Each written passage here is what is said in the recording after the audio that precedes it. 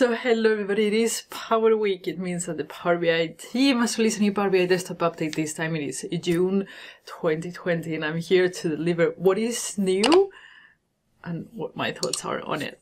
Are you ready? Let's get started. Okay guys, June 2020, what are the updates? The first thing they talk about is a new phone report editing experience. So here's the thing, the first one they have done a new phone emulator, so the actual look and feel is going to be a bit different. And one of the reasons for that is because you have now more granularity to how and where you placed your visuals on that little phone that you have there when you're out through mobile report, which is nice. That is actually a very nice. The where the grid was a bit too thick before, so it was quite hard to place elements in there. So this is nice. The next one, they have uh, added titles to the visuals. Here's the thing, when you're creating mobile reports, you get all the visuals that you have on a tab or on a sheet, they get moved over to the mobile experience and that's what you use to create mobile report. And before there were no titles, now if you have titles on the visuals, you will see the titles on the mobile experience. You have to have titles, otherwise it won't help you. You can also see if they are hidden or not the visuals in the actual report. And uh, if you, again, if you use titles, this will definitely help you. And you can now overlay tiles. You couldn't do that before. It means that you couldn't have like an image and then put something on top. You can do that now. Those three things are nice. I'm still missing two very important things that are needed for mobile reports. Number one, I don't want the reports or the visuals from a report to move over to mobile. I want to be able to create own mobile visuals.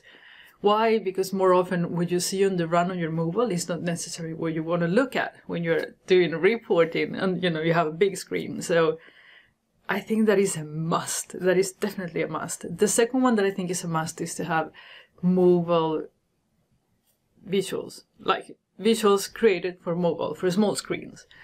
I don't think that the ones that are used for bigger screens fit on small screens. And we've seen that if you have a you know mobile phone, you see that the visuals are actually different. So development on that would be very, very good. With that said, the additions are actually good. Uh, next item, it is automatic page refresh. I have a cheat note here. It is generally available. I have actually an idea for a video on that. I will do it later on when I have a little bit more time. So generally available, that's great. We have uh, the hierarchical slicer is now generally available too, and they have introduced new features that are actually quite nice. We have we have we, before we had the chevrons. I didn't know it was called like that icons. I didn't like them very much, to be honest. Now we have plus minus, which is what they have in Excel. Well done. I think they're very good. And then we have a caret, which I think also they are quite lovely. So that's nice. And what else do we have? Now, if you resize the text on the slicer, the icons will also get resized, which is nice. And you can indent, uh, choose the indentations, how much from one level to another, how much to, will they moved, uh, which is nice too. And then we have the slicer works with AI visuals, okay? So, Modern Ribbon generally available. I think that what is missing for the mobile, uh, for the new ribbon is, you know, the quick shortcuts that you have on Excel, for example, on all the Office package. I haven't been able to use it because I get blue screens and it just wipe out everything, all the settings in Power BI, which I wish they would fix it.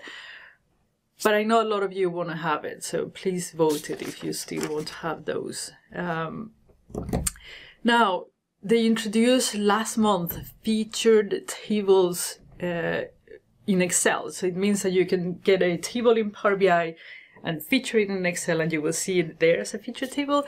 Now it supports row level security.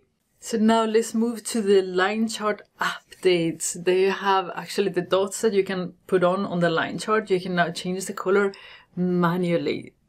Mm -mm -mm that needs to be conditional format in using DAX for sure. And I don't want to change the color of the dots. I want to change the color of the line. that will make me happy. So, but you can change the dots manually. That's what you have for today.